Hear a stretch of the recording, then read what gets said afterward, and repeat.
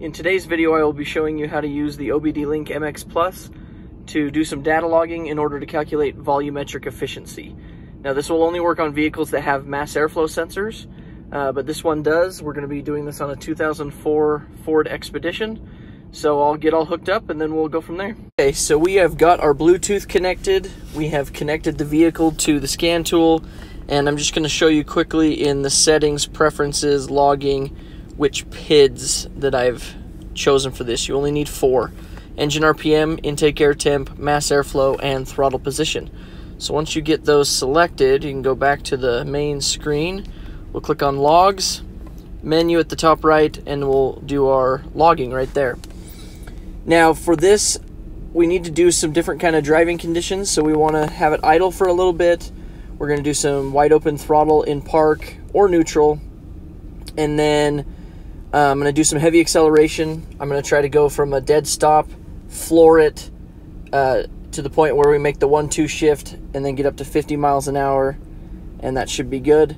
Um, and then we'll do some deceleration, some light acceleration, and with all of that information, we'll be able to get a good idea of what the volumetric efficiency looks like on this Ford today. Okay, so I'll go ahead and start logging, and then we'll come back when we start analyzing the data.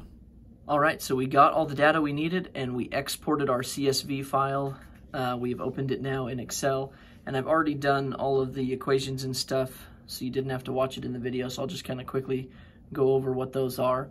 Um, so when we had the, the data originally, it was just time, RPM, mass airflow, intake air temp, and throttle position right here. And then we calculated some extra lines of data here in order to get ultimately this one, which is our volumetric efficiency.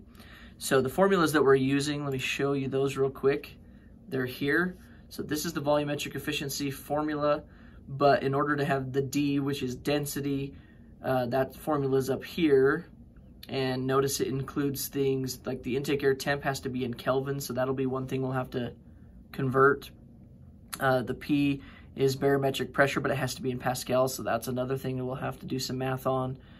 And then um, yeah, and I do have those formulas down here. Fahrenheit to Kelvins here. Uh, inches mercury to pascals is right there. So yeah, let's go back to here and you'll see this line. Well, let's start with pascals. This line, what I did is I looked at the local, um, the barometric pressure in our area when I was doing the test. And then I took that number and multiplied it by that constant right there that was in the formula. Um, Okay, so now I have pascals all the way down. I did the conversion for Kelvin right there, so I took the intake air temp, which was in Fahrenheit, added that number times the 5 ninths, that was all in the formula. And then used those two numbers in the density formula, and then use the density back into our volumetric efficiency formula, so you can see that right there. And then obviously I went through and, you know, made it look nice, controlled the decimals, converted this to percentage, stuff like that. So, uh, anyways, the thing I did to make this a little easier is I made this little chart so you can see where we were doing idle, where our light acceleration was happening, where our heavy acceleration. So this whole beginning right here in light blue, that is our idle range.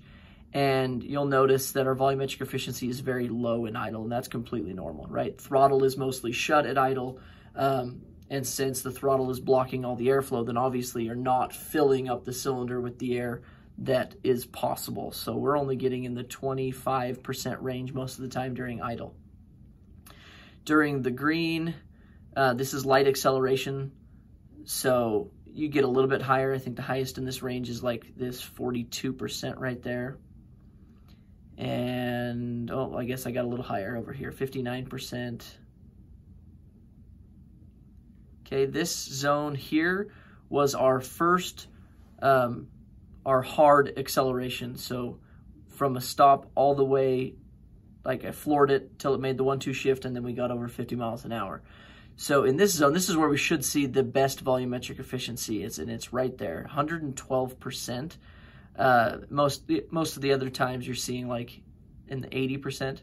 But if I never got, like if if I did this and I never got over 85%, that would be that would be uh, a problem to me because most engines these days are getting over 85% by design. And so if I wasn't getting 85% at least during this, I'd start looking at maybe if my mass airflow sensor is calculating wrong, because remember that's part of our equation. Um, or maybe your engine just having trouble breathing. Maybe it's got back pressure issues or something.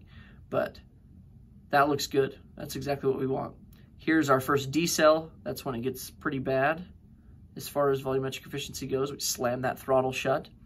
Our second acceleration, not nearly as good as the first. We're getting up in highest, I think, is 81%. Second decel right here got, yeah, right there. And then I did a couple snap throttles while in park.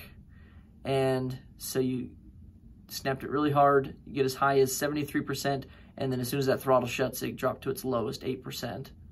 And I did two of those.